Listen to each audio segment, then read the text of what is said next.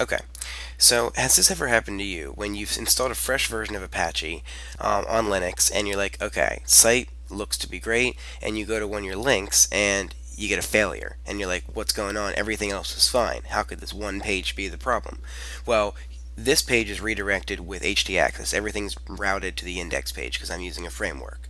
So you're thinking, okay, htaccess is messed up. So let's go to our htaccess file, and let's say, okay, first thing, get rid of that. So first thing uh, what we should do is throw in some random text in our htaccess file. Because if we have some random text in here, and it's reading the file, it should throw a 500 error. If it if we get nothing, so let's refresh. Okay, so we still get nothing. We don't even get a 500 error. This would definitely cause a 500 error. Okay, so our first problem is that our htaccess file isn't being read at all. So we're going to go to our server. We're going to go to slash uh, etc slash apache 2 and then we're going to go to sites enabled and we're going to double click the file that's in here to open it for editing.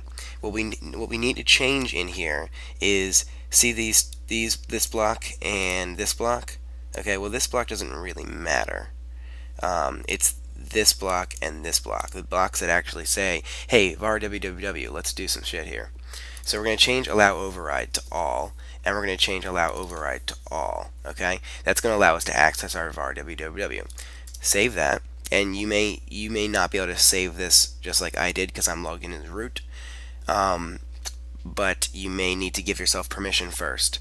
Um, that's not explained here, but you need to be able to change this. Okay, so now we're going to refresh our page, and oh, no change. That's because you have to restart Apache. So just pull up your terminal and do a sudo slash etc slash init dot d slash apache2 space restart.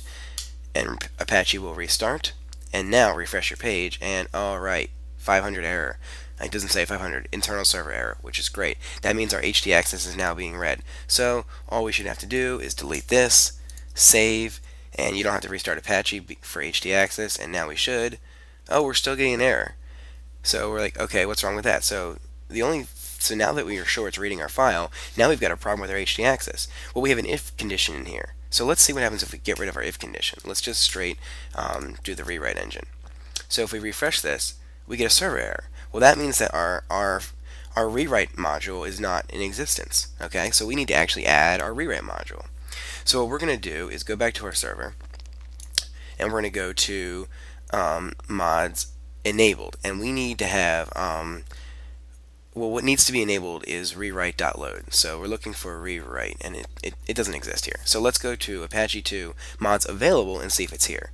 So we're going to say um, rewrite. Oh, and there it is right here, rewrite.load. Beautiful. So we're just going to kind of download that um, to our desktop and go to mods enabled and then just kind of throw that in there. Wow, I have way too much on my desktop. Oh, there it is. I found it. Alright, and just toss that in here. Okay, so now we're going to restart Apache one more time now that our rewrite module is in there. Great. And now we're going to refresh our page and ta-da, now htaccess is correctly um, working and we've got our rewrite module added.